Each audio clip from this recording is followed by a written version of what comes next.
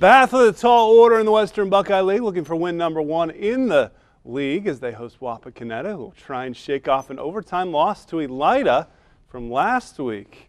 Head to the tub and Wapakoneta gets going quickly very early. Brady Erb to Adam Scott showing off the range. He hits the three, but back comes Bath. Carter Parlapiano. Long two. Gets them on the board. Then Wapak and inbound. Aaron Good wide open. Erb, the quarterback, plays it in. It's five to two, but then Bath going on a run. Jonah Wobber hits Wobbin hits the three here, and then Cyrus Burden again finds Wobbin. This is a, not the same play, but same result. Bath going on a first quarter run. Pinball here to Ian Armentrout, just like Coach Allen drew it up. And then Parlapiano, look at this, slicing through defenders and gets it to fall. A 12-5 Bath lead in that first quarter.